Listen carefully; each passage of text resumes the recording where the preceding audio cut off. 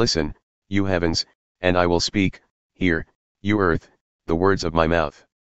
Let my teaching fall like rain and my words descend like dew, like showers on new grass, like abundant rain on tender plants. I will proclaim the name of the Lord. Oh, praise the greatness of our God. He is the rock, his works are perfect, and all his ways are just. A faithful God who does no wrong, upright and just is he. They are corrupt and not his children, to their shame they are a warped and crooked generation. Is this the way you repay the Lord, you foolish and unwise people? Is he not your Father, your Creator, who made you and formed you? Remember the days of old, consider the generations long past. Ask your father and he will tell you, your elders, and they will explain to you. When the Most High gave the nations their inheritance, when he divided all mankind, he set up boundaries for the peoples according to the number of the sons of Israel. For the Lord's portion is his people, Jacob his allotted inheritance. In a desert land he found him, in a barren and howling waste. He shielded him and cared for him, he guarded him as the apple of his eye, like an eagle that stirs up its nest and hovers over its young, that spreads its wings to catch them and carries them aloft. The Lord alone led him, no foreign God was with him. He made him ride on the heights of the land and fed him with the fruit of the fields. He nourished him with honey from the rock, and with oil from the flinty crag, with curds and milk from herd and flock and with fattened lambs and goats, with choice rams of Bashan and the finest kernels of wheat. You drank the foaming blood of the grape. Jeshurun grew fat and kicked, filled with food, they became heavy and sleek. They abandoned the God who made them and rejected the rock their Savior. They made him jealous with their foreign gods and angered him with their detestable idols. They sacrificed to false gods, which are not God, gods they had not known, gods that recently appeared, gods your ancestors did not fear. You deserted the rock, who fathered you, you forgot the God who gave you birth. The Lord saw this and rejected them because he was angered by his sons and daughters. I will hide my face from them, he said, and see what their end will be, for they are a perverse generation, children who are unfaithful. They made me jealous by what is no God and angered me with their worthless idols.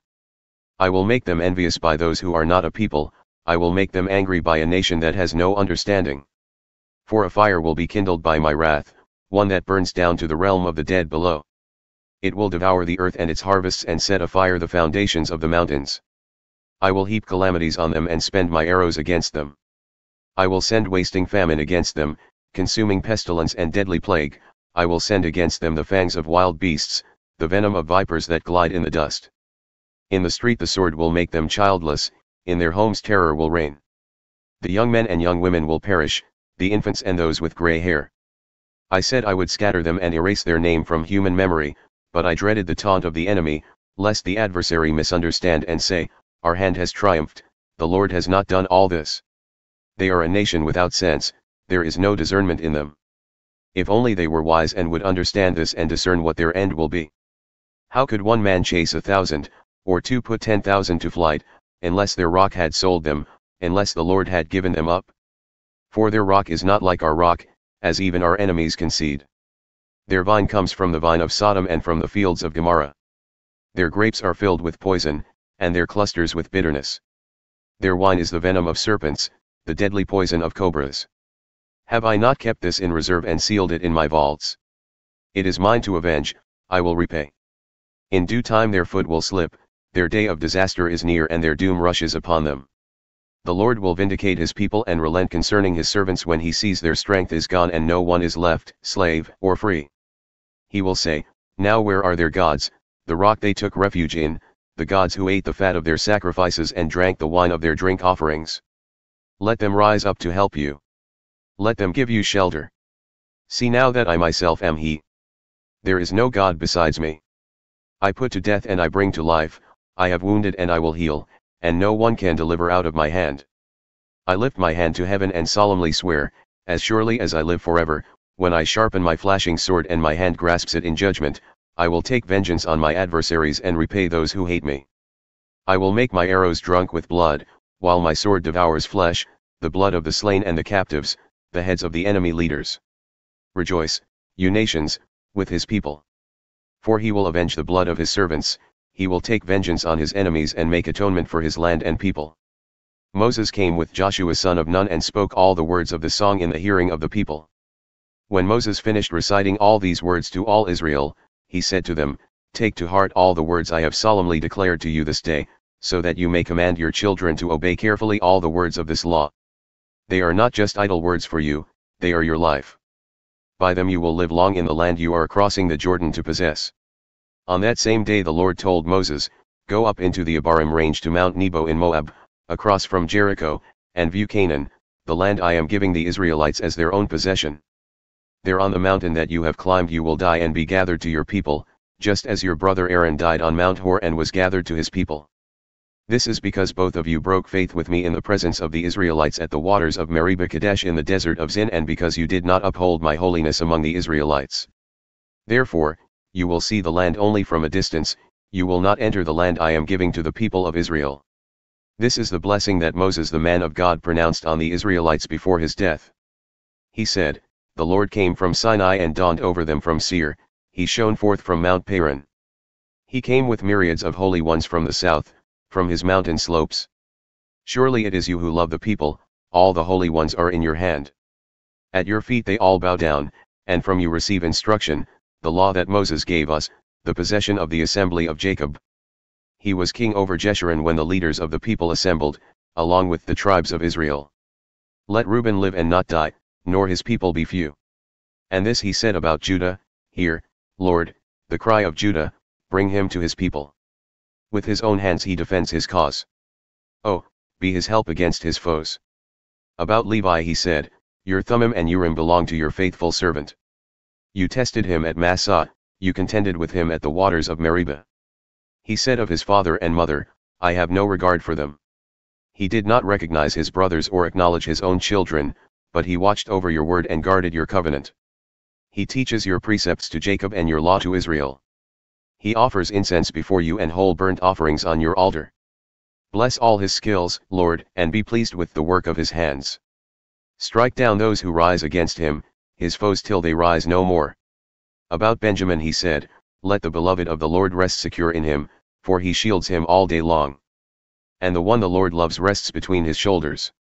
About Joseph he said, May the Lord bless his land with the precious dew from heaven above and with the deep waters that lie below, with the best the sun brings forth and the finest the moon can yield, with the choicest gifts of the ancient mountains and the fruitfulness of the everlasting hills, with the best gifts of the earth and its fullness and the favor of him who dwelt in the burning bush. Let all these rest on the head of Joseph, on the brow of the prince among his brothers. In majesty he is like a firstborn bull, his horns are the horns of a wild ox.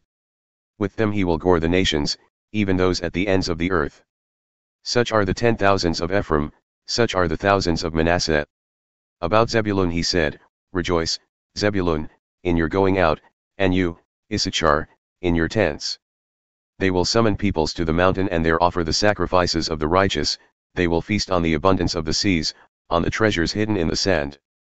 About Gad he said, Blessed is he who enlarges Gad's domain. Gad lives there like a lion, tearing at arm or head. He chose the best land for himself, the leader's portion was kept for him. When the heads of the people assembled, he carried out the Lord's righteous will, and his judgments concerning Israel. About Dan he said, Dan is a lion's cub. Springing out of Bashan.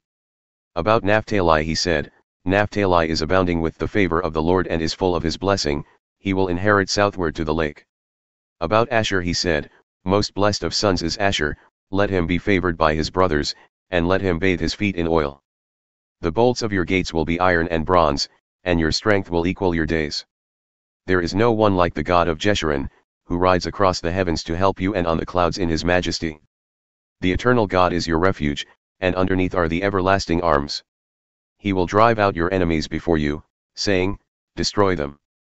So Israel will live in safety, Jacob will dwell secure in a land of grain and new wine, where the heavens drop dew.